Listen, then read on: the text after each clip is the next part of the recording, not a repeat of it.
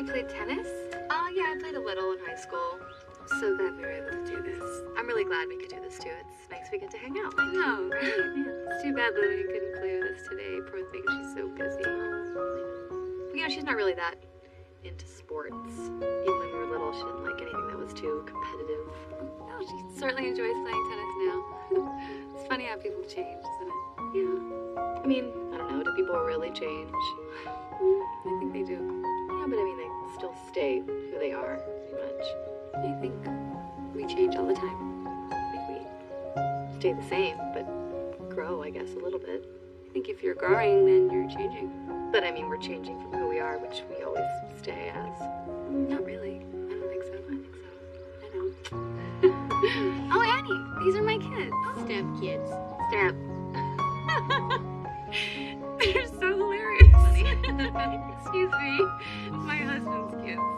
What are you guys up to? Going to the snack bar. Awesome. You need a ride home later? Off, Helen. Okay, put a quarter in the swear jar. Good to see ya.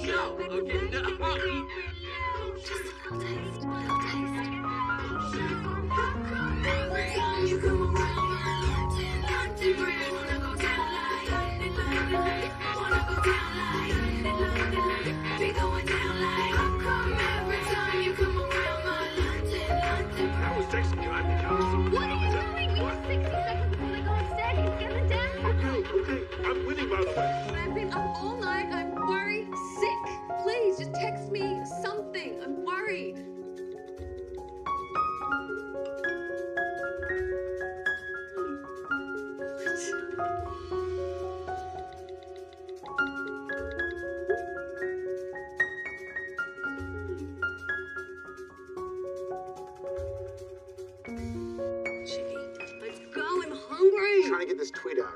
How do you spell Trump? Jimmy, Hey, what's up, Cal? where is he? Where's who? You're lying to me. You're terrible actor. Tell me where he is. Uh, I don't know. He told me that you'd pretend you didn't know where he was. Tell me where he is. No. Hey, Cal. Where is Mac? Mac is missing and Jimmy knows where he is. Tell her where the f- he was is. with you last night. I don't know. I where- know you're protecting some stupid bro. Just tell me where he is. Bro? No, there's no bro. He likes you more than me. He tells me that every day. You're lying to me, Jimmy. Tell me where he is. I'm not lying. Excuse me, why is there so much language? This is an emergency. My husband Mac is vanished, and this man knows where he is. Well, tell her. Tell I me. don't. Tell her. tell her where she is. Oh, Well, you don't have to no, do no, this. no. Wow. Okay, okay, hold on. She's gonna hurt He's you. in jail. Child. What? No, I'm not lying.